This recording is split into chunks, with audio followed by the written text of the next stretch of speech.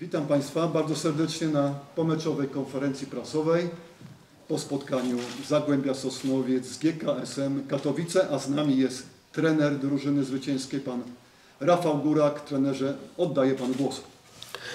Tak, dzień dobry. Mm, Wiadomo, że okres świąteczny to, to, to jeżeli taką dobrą nowinę zawozi się do domu, to jest zawsze ogromna, e, ogromna, ogromna radość. Także, także jestem przekonany, że dzisiaj Katowice i wszystkie rodziny e, bardzo, bardzo, bardzo będą się radowały w ten dzień. Także rzeczywiście staraliśmy się bardzo dobrze przygotować do tego meczu, jak do kolejnego, ale wiedzieliśmy, że Zagłębie poprzez to, co, co się dzieje, będzie próbowało dzisiaj przy, przy bardzo dużej publice zrobić coś trochę innego, zaskoczyć nas może personalnie albo nawet przetasować ustawienie. E, Także przyszykowaliśmy się do tego bardzo, bardzo solidnie i z tego mam ogromną satysfakcję, że byliśmy bardzo dobrze przygotowani do tego spotkania. I Wydaje mi się, że całe spotkanie mm, może nie tyle kontrolowaliśmy, bo ja nie lubię e, w takich sprawach e, stawiać e, jakby, jakby sytuacji, ale wydaje mi się, że byliśmy cały czas e, drużyną po prostu lepszą.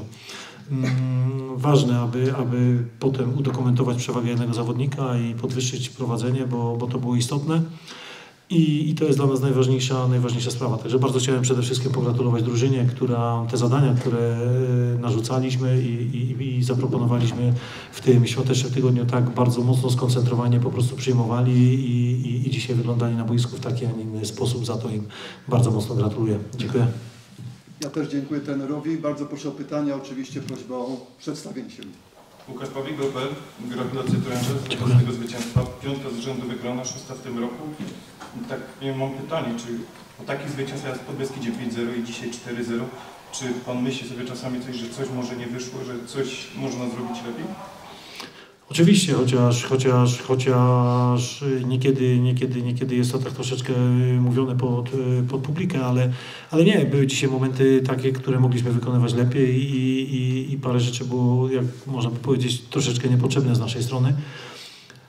Ale ciężko tutaj w jakiś sposób y, zarzucać coś y, na gorąco, bo tak jak powiedziałem, cały plan i cała koncentracja w stosunku do tego spotkania i, i, i wytrzymanie tak zwanego ciśnienia meczowego było na najwyższym poziomie, także, także tutaj ciężko by było zarzucać coś na gorąco, natomiast rzeczywiście po, po, po analizie i zespołowej, i indywidualnej e, zawodnicy tradycyjnie te, te, te wskazówki, co można zrobić lepiej, na pewno otrzymają.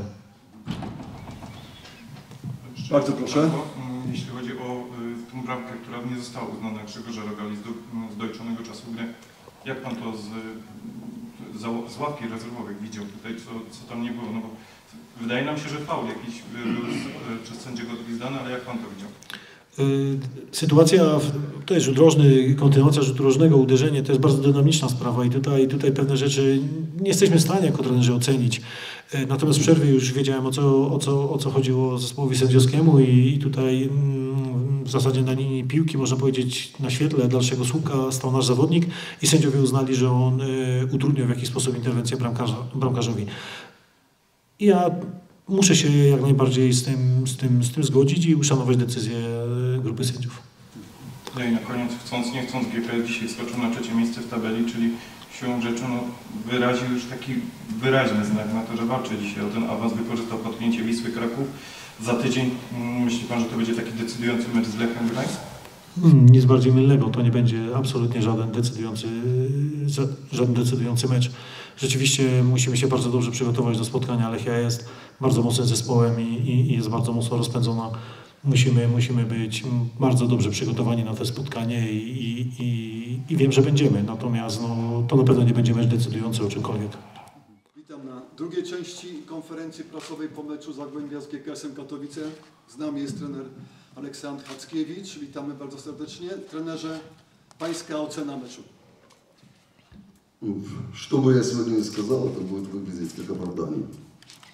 Sobie dzisiaj nie powiedziałem, będę, to wyglądać jak wymówka. После игры с Лехией мы договорились с командой, что не только я отвечаю за результат. Е, по спотканню з Лехієм е, розмовлялися ми з зесполем, що не тільки я, як тренер, відповідам за е, винник. Сегодня на установке на игру был объявлен состав, э, кто выходит с первых минут. И футболисты сами определяли тактику на игру, на это дерби. Dzisiaj przed meczem y, był y, wstępnie omówiony skład i y, w- piłkarze sami y, wyznaczyli sobie strategię na grę. Я, честно, не знаю, какой был план, потому что это было все за закрытыми дверями, и это делала команда. Uczciwie nie wiem, jaki był u nich plan. Wszystko y, to wymyślił y, zespół. Ja y, był za zamkniętymi drzwiami. У нас нет никакой анархии, но футболисты должны тоже понять, что они несут ответственность также за свою игру и за результат. U nas nie ma żadnej anarchii i piłkarze y, muszą wiedzieć, że też odpowiedzialnie za wynik meczu, jak i, i ja. Уже все футболисты сыграли в этих э, играх. Y, Już wszystkie piłkarze y, y, z- y, zagrali w y, tych y, meczach. Кто-то хочет, но он уже не может, а кто-то может, но он не хочет. Z piłkarzy y, może, ale nie chce, a jest taki, że które chcą, a nie mogą. И Я им сказал, что я не математик, но пока есть шансы, я буду сражаться. Если кто-то из них уже сдался, то завтра могут не приходить уже на тренировку. Ja powiedziałem do nich, że nie jestem matematykiem, ale powiedziałem, y, że y, jak ch- ktoś z nich y, chce, to może już nie wychodzić na boisko. Здесь созданы прекрасные условия для команды. Y, Tu y, mamy y, przepiękniejsze y, możliwości dla y, zespołu. Здесь прекрасные болельщики. Tu y, przepiękne y, kibice. Я сегодня у футболистов после игры спросил, говорю, где, в какой команде есть такие условия для работы? И многие из них говорят, что не во всех командах, даже экстра-классы, есть такие условия. Ja dzisiaj zapytałem e, w zespole, gdzie widzieliście, gdzie macie jeszcze takie warunki jak tutaj. E, Nie, każda, e, nie każdy zespół ma e, coś podobnego. Ну, и вот когда spрашиваешь тоже, кто главный в команде, вот я тоже хочу спросить, кто-то мне ответит, кто главный в команде? Chcę zapytać, e, kto jest głównym w e, zespole? Po waszym Czy, czy, czy może mi ktoś odpowiedzieć? Na jakie На, jest ва- wasze на- на- zdanie? на ваше знание, да, как вот вы думаете, кто главный в команде?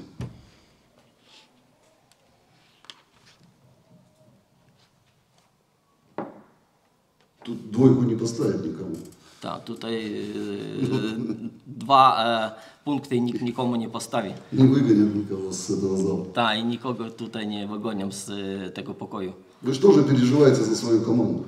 Wy też e, się e, kibicujecie za swoją komandą, za, za, za, za swój zespół. E, Grzegorz, wygrywamy świętą wojnę pewnie 4-0. Proszę Cię o taką opinię na temat naszej gry dzisiaj. No już zacząłeś od wyniku, to, to, to jest chyba kluczem, kluczem dzisiaj, ale tak podsumowując od początku, gdzieś tam nasza kontrola pełna nad, nad tym meczem.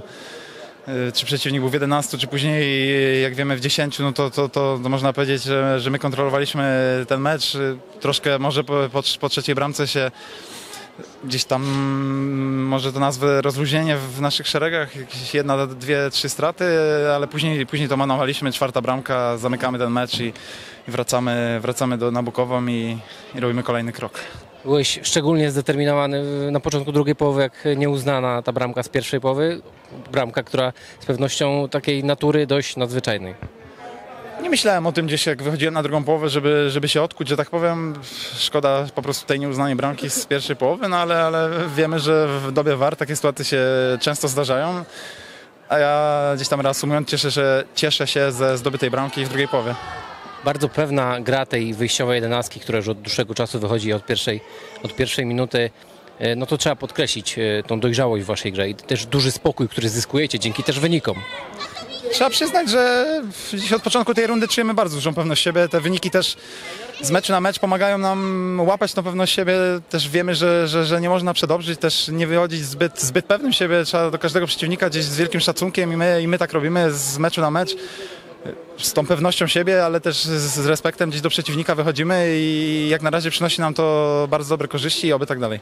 Spotkanie z Lechią, y, no z pewnością będziemy też mieli w głowie te ostatnie spotkanie w Gdańsku, które totalnie nie po naszej myśli.